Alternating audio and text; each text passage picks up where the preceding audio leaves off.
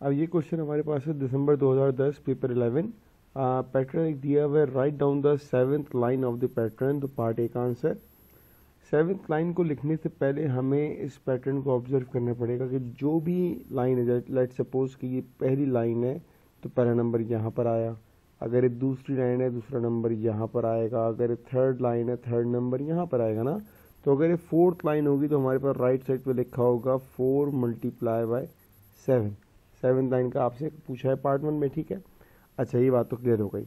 अब अगर यहाँ पर हमारे पास जो भी नंबर लाइन का होता है, उससे एक नंबर पहला यहाँ पर होगा और उसके एक नंबर बाद नंबर यहाँ पर होगा।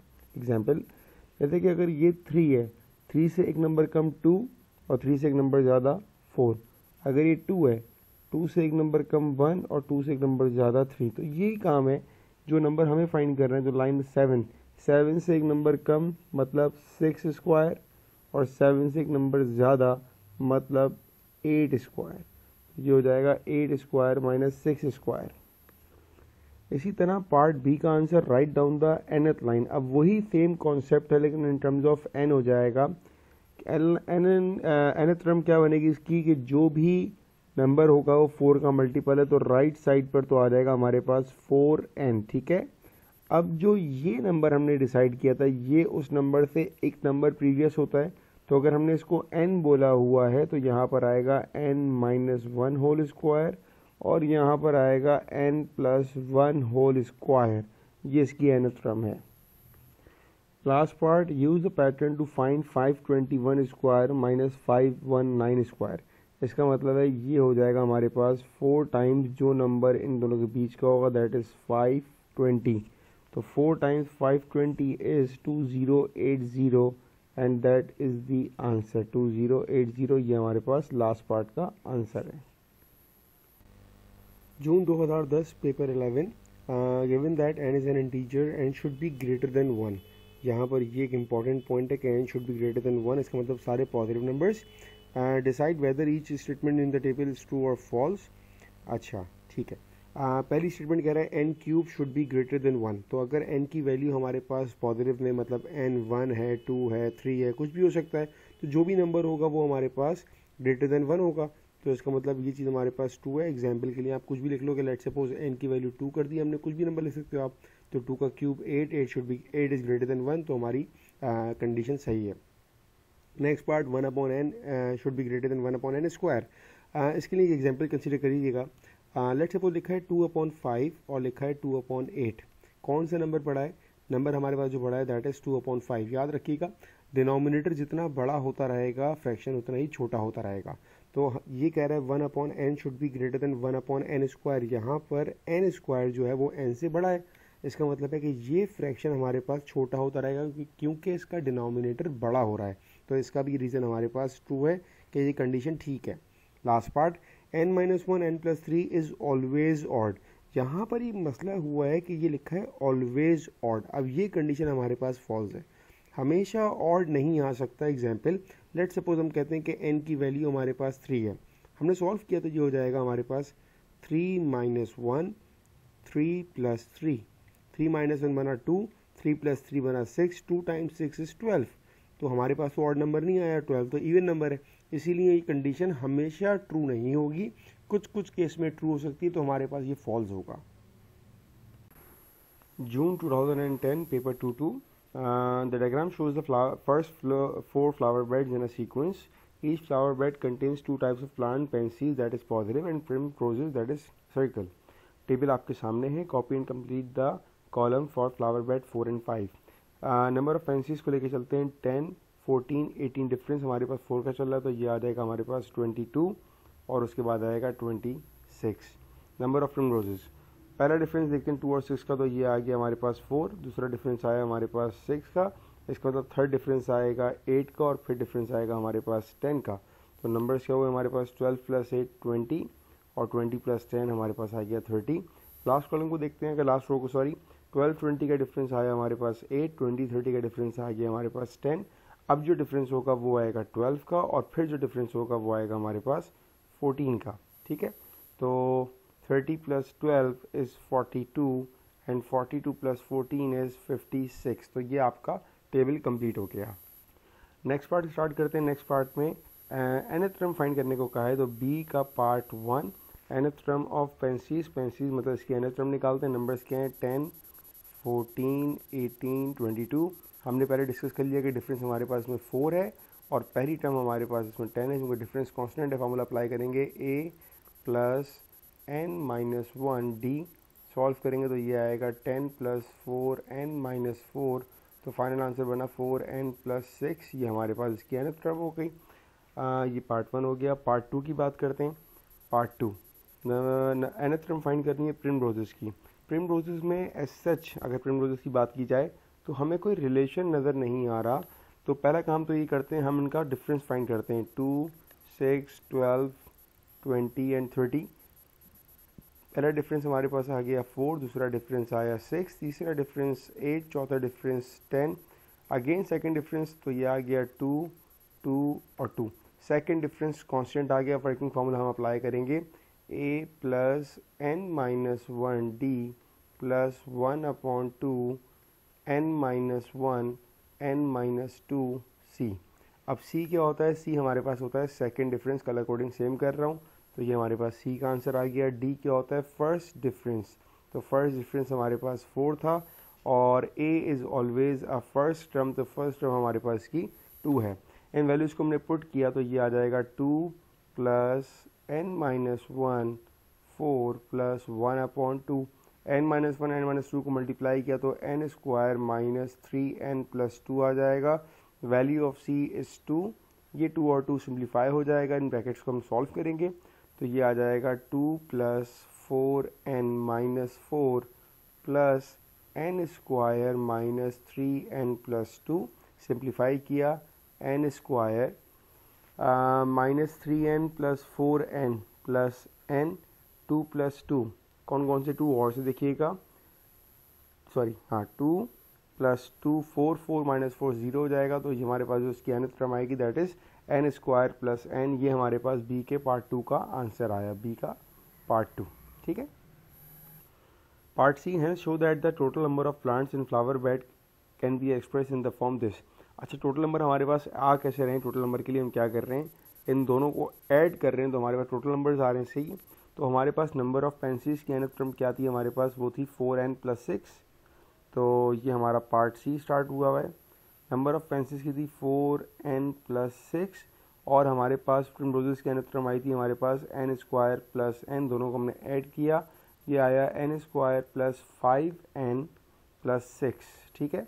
यहाँ पर आपकी बनी मिडिल टर्म ब्रेक सॉल्व किया n square plus three n plus two n plus six common ले लिया एन एन प्लस थ्री यहाँ से टू कॉमन आएगा अंतर आएगा n plus three n plus three common आएगा क्या बचा हमारे पास? एन प्लस टू और यही प्रूफ करने को कहा था तो ये हमारे पास प्रूफ दैट हो गया, ठीक है? तो ये part C done part D calculate the total number of flowers in flower bed ten तो बेसिकली हमको यहाँ पर एन की वैल्यू दे दी है दैट इज़ टेन तो हमारे पास टोटल का एक्सप्रेशन तो आ चुका है वो एक्सप्रेशन हमारे पास क्या है? वो है एन प्लस थ्री और एन प्लस टू तो एन प्लस थ्री का मतलब हो गया ten plus three thirteen n plus two का मतलब हो गया twelve thirteen multiply by twelve is one fifty six ये हमारे पास पार्ट डी का आंसर है, ठीक है?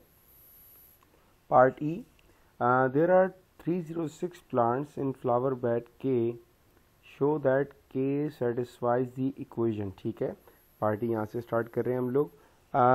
टोटल प्लांट्स, यहाँ पर बात कर रहे हैं टोटल प्लांट्स की तो एक्सप्रेशन हमारे पास कितना आया था? एन प्लस थ्री और एन प्लस टू अब चूँकि यहाँ पर डिस्कशन हमारे पास के की हो रही है तो अगर यहाँ पर के आ जाएगा फ्लावर बेड के में तो ये हो जाएगा K plus three K plus two और टोटल दिए हुए कितने हमें? थ्री ज़ीरो सिक्स प्लांट्स अब हमने सिंपल इसको सॉल्व करना है तो ये आ जाएगा K square plus two K plus three K five K plus six is equals to three zero six three zero six को शिफ्ट करेंगे लेफ़्ट साइड पर तो ये आएगा K square plus five K minus three hundred is equals to zero और यही हमने equation prove करनी थी पार्ट वन में ई e के।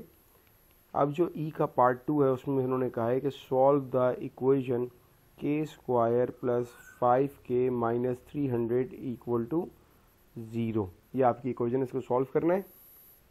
टर्म ब्रेक करेंगे, इसकी तो ये बनेगा हमारे पास K squared plus twenty K minus fifteen K minus three hundred equal to zero ये मिडिल टर्म ब्रेक कर दिया हमने।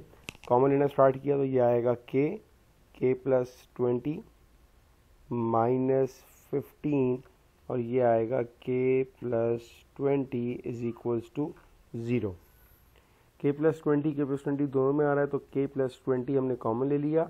बचा क्या हमारे पास? K minus fifteen is equals to zero दोनों को हमने ज़ीरो से इक्वेट किया तो ये आएगा K is equals to minus twenty और K is equals to fifteen तो जो पॉजिटिव वैल्यू होगी, वो हमारा आंसर होगा तो इस केस में के की वैल्यू हमारे पास फिफ्टीन हो जाएगी। ठीक है लास्ट पार्ट ई का part three E part three hence find the number of pansies in flower bed के पेंसीज की हम एनत्रम निकाल चुके हैं। वो हमने निकाली थी पेंसीज की एनत्रम हमारे पास थी। फोर एन प्लस सिक्स ठीक है? ये हमने निकाली हुई है। तो four N plus six nth है।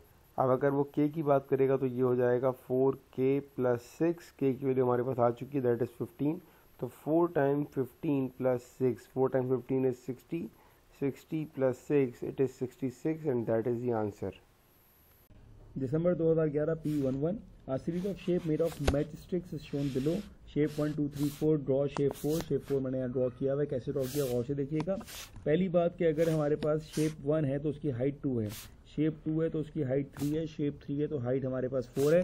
शेप फोर होगा तो हाइट हमारे पास फाइव होगी। ये विथ सबकी कांस्टेंट है वन ब्लॉक की। और जो बीच की विथ है, ये वाली जो जोन सी पिक्चर होगी शेप होगा वही हमारे पास नंबर होगा। अगर शेप वन है तो विथ भी वन है शेप टू है तो विथ टू है शेप थ्री है तो विथ थ्री और शेप फोर तो विथ फोर तो ऐसे हमारे पास शेप फोर की फिगर बन गई। ठीक है? Next part the table shows the number of matchsticks used to make shape one and two तो पहले में बारह, फिर अट्ठारह मतलब डिफरेंस हमारे पास आ गया। सिक्स का काउंट कर लीजिएगा तो ये आएगा आपके पास ट्वेंटी फोर और उसके बाद आपके पास आ रहेगा ये थर्टी ठीक है ना? तो ये आपके पास टेबल कंप्लीट हो गया।